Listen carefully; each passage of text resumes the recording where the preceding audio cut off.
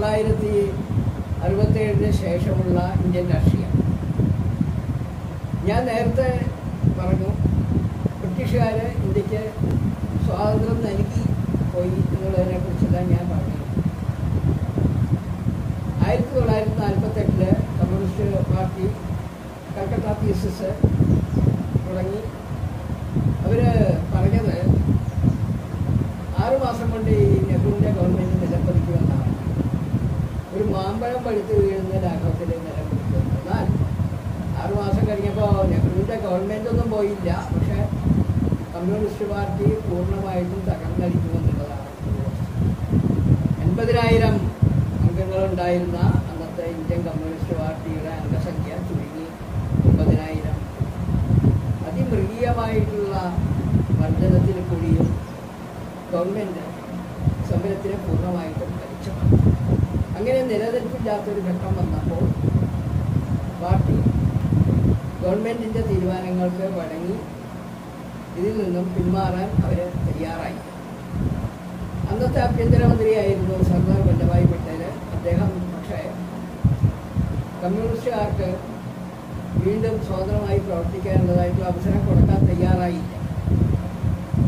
Communist party ഇന്ത്യയിൽ ആയിരത്തി തൊള്ളായിരത്തി നാൽപ്പത്തെട്ടിൽ അവരുടെ കൽക്കട്ട തീസിസ് പ്രമാണപ്രകാരമുള്ളതായിട്ടുള്ള സായുധ വിപ്ലവം പിൻവലിച്ചു എന്ന് പറയുന്നുണ്ടെങ്കിലും ഏഹ്, അന്നത്തെ ഏറ്റവും പ്രമുഖമായിട്ടുള്ള കമ്മ്യൂണിസ്റ്റ് പാർട്ടിയുടെ ഘടകം നിലനിന്നിരുന്ന ആന്ധ്രാപ്രദേശിലെ തെലുങ്കാന അവിടുത്തെ തെലുങ്കാന വിപ്ലവം ഈ തെലുങ്കാനയിലത്തെ സഖാക്കളെ അംഗീകരിക്കാൻ തയ്യാറായി.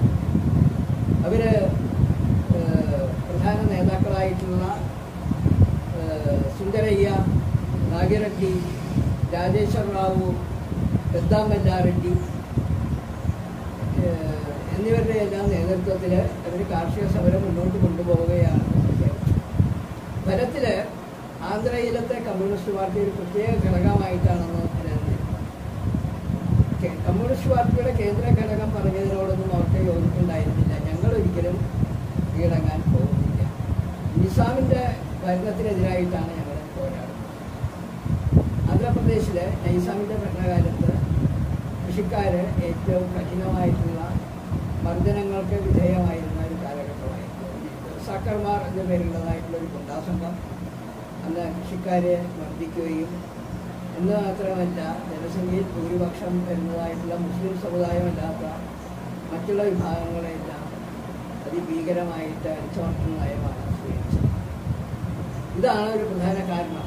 ഇതിനെതിരായിട്ട് ആയിരുന്നു അവിടുത്തെ കാർഷിക വിപ്ലവം. ഈ കാർഷിക വിപ്ലവം കുറച്ച് കഴിഞ്ഞപ്പോൾ ഒരു ഗറില്ല പ്രസ്ഥാനമായിട്ട് ആയി കർഷക ഗറില്ല പ്രസ്ഥാനം എന്നാണ് പിന്നീട് അറിയപ്പെട്ടത്. തെലങ്കാന ആംഡ് സ്ട്രഗിൾ എന്നാണ് നമ്മൾ ഇതിനെക്കുറിച്ച് പറയുന്നത്. പക്ഷേ ആയിരത്തി തൊള്ളായിരത്തി അമ്പത്തിരണ്ട് കഴിഞ്ഞപ്പോൾ ഈ ഹൈദരാബാദ് സംസ്ഥാനം പോലീസ് ആക്ഷനിൽ കൂടി നാൽപ്പത്തെട്ട് മണിക്കൂർ നേരമേ വേണ്ടി വന്നുള്ളൂ ഇന്ത്യൻ യൂണിയന്റെ നയിപ്പിച്ചു. അപ്പോൾ പിന്നീട് സമരം തുടങ്ങണോ തുടരണമോ എന്നുള്ളതായിട്ടതിനെ കുറിച്ച് വലിയൊരു ആശങ്ക. അങ്ങനെ സമരം പിൻവലിച്ചു. പിന്നീട് കമ്മ്യൂണിസ്റ്റ് പാർട്ടിയുടെ മേലുള്ളതായിട്ടുള്ള നിരോധനം പിൻവലിച്ചു. ഇതിനെ തുടർന്ന് ഈ നേതാക്കളെല്ലാം വീണ്ടും മുഖ്യധാര രാഷ്ട്രീയത്തിലേക്ക് പ്രവേശിച്ചു.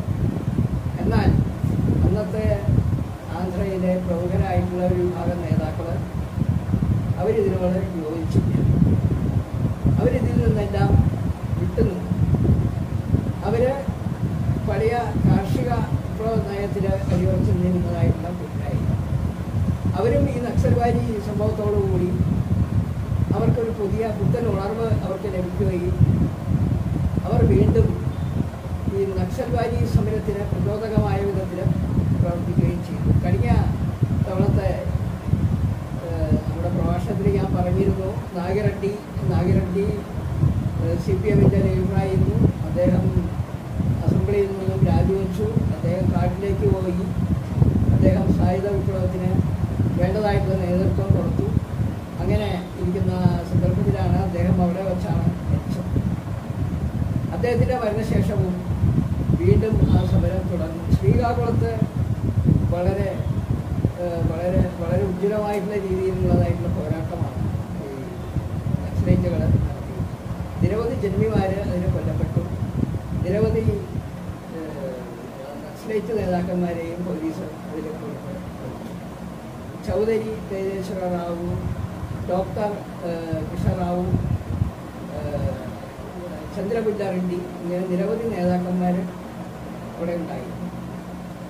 ഇവരെല്ലാം പിന്നീടും ഇത് ശ്രീകാകുളത്തെ കലാപം ഗവൺമെന്റ് അടിച്ചമർത്തിയെങ്കിലും അവർ ആന്ധ്രയുടെ മറ്റ് പ്രദേശങ്ങളിലേക്കെല്ലാം ഇത് വ്യാപിക്കുകയും ഇവരെ കാടുകളിൽ ഇന്നും സജീവമായിട്ട് പ്രവർത്തിക്കുകയും ചെയ്യും അങ്ങനെ ആന്ധ്ര നമ്മുടെ ബംഗാൾ കഴിഞ്ഞാൽ ആന്ധ്ര ഒരു പ്രധാന കേന്ദ്രമായിട്ട് മാറിയെന്നുള്ളതാണ്.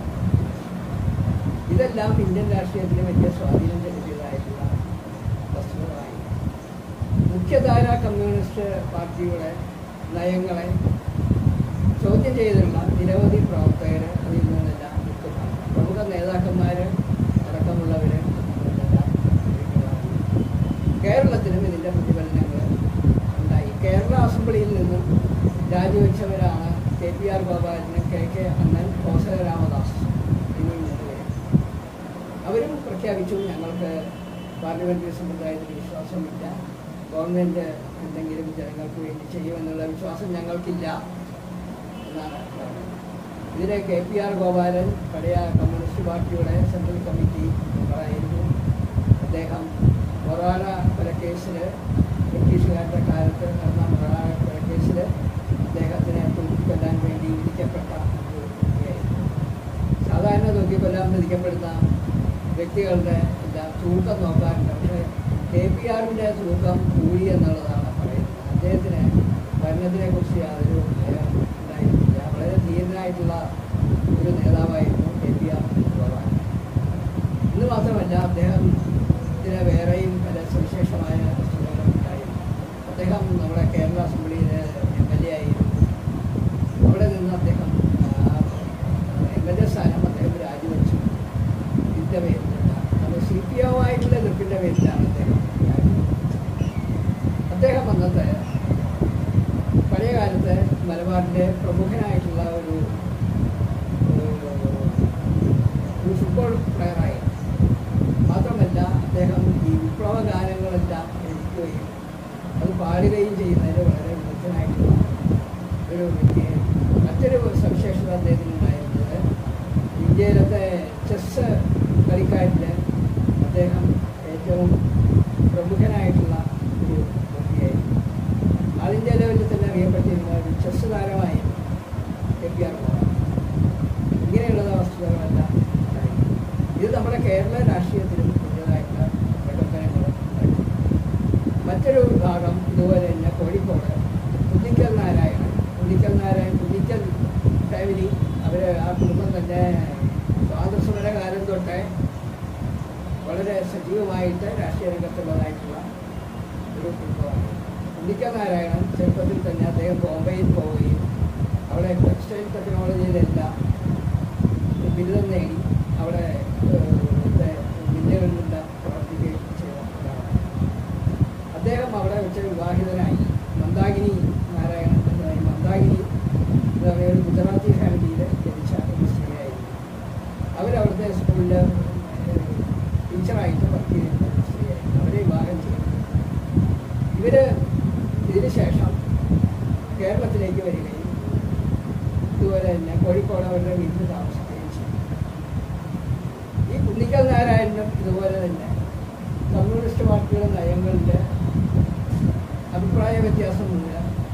അതിൽ നിന്നെല്ലാം ഒഴിഞ്ഞു നിന്നിരുന്നതായിട്ട് അദ്ദേഹം എല്ലാം സജീവമായി വരികയും മാവോ നിരവധി ബുക്കുകൾ അദ്ദേഹം മലയാളത്തിലേക്ക് തർജമ ചെയ്ത് ഇവിടെ പ്രകാശിപ്പിക്കുകയും ചെയ്തു.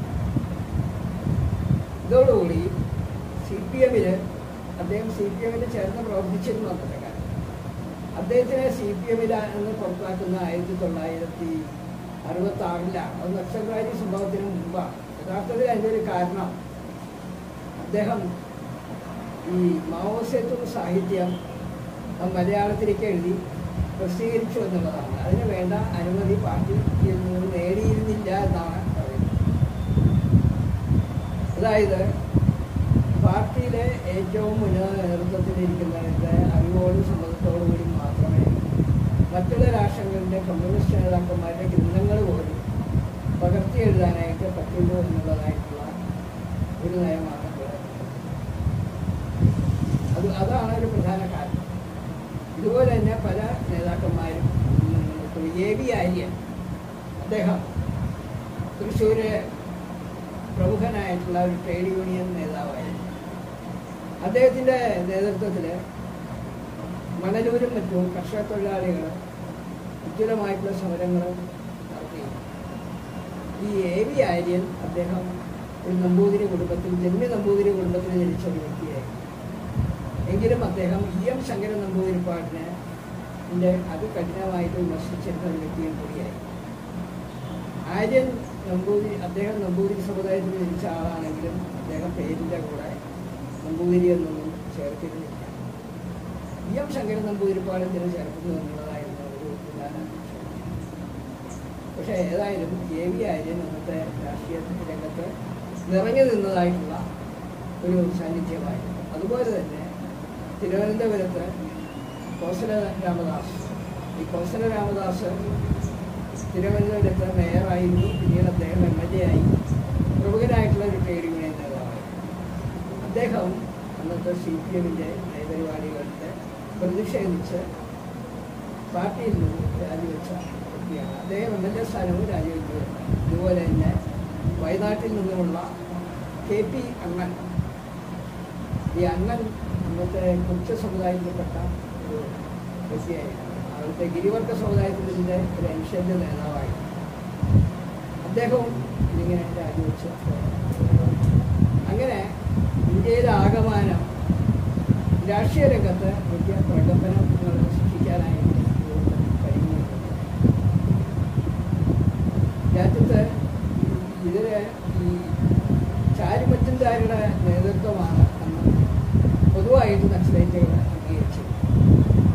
അദ്ദേഹം ഗരുഡ സ്ക്വാഡുകൾക്ക് രൂപം കൊടുക്കുകയും അഞ്ചു പേരടങ്ങുന്നതായിട്ടുള്ള ഇതുപോലെ തന്നെ ഗ്രാമപ്രദേശങ്ങളിൽ കൊണ്ടുവരികയും ഇവരെ ജന്മിമാരെ വധിക്കുകയും അവരുടെ വീടുകളെ കൊള്ളയടിച്ച് അവിടെ നിന്നും പണം പലിശയ്ക്ക് വാങ്ങുന്ന പ്രമാണങ്ങളെല്ലാം എടുത്ത് കത്തിക്കുകയും ചെയ്യുന്നതായിട്ടുള്ള പതിവുണ്ടായിരുന്നു ഇങ്ങനെ നിരവധി ജന്മിമാർ ബംഗാളിലും കൊല്ലപ്പെട്ടു. ഇതിനെതിരായിട്ട് അതിഭീകരമായിട്ടുള്ള മർദ്ദനങ്ങൾ ഗവൺമെന്റ് അടിച്ചു.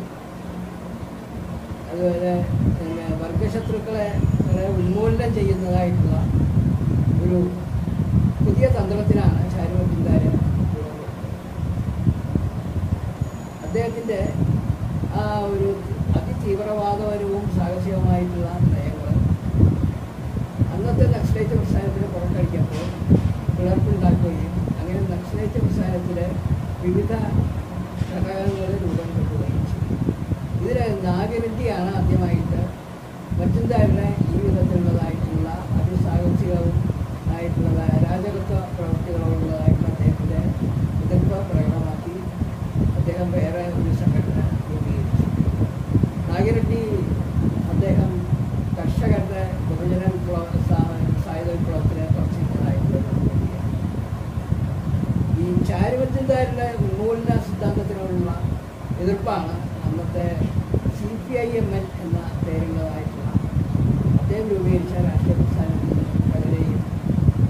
സംഘടിച്ച് മാറാനും പുതിയ പുതിയ ഗ്രൂപ്പുകൾ ഉണ്ടാക്കാനും ഇതുപോലെ ബീഹാറിന്റെ ഭോജ്പൂരിൽ നക്സലൈറ്റുകളുടെ ശക്തി കേന്ദ്രമായിട്ട് മാറി. അവിടെയും ജന്മിമാർക്കെതിരായിട്ടുള്ള സമരങ്ങൾ ശക്തമായിട്ട് വിനോദ് മിശ്ര എന്ന പേരായ ഒരു വ്യക്തിയായിരുന്നു ഭോജ്പൂരിന്റെ ഇവർക്ക് നേതൃത്വം കൊടുത്തിട്ടുണ്ടായിരുന്നു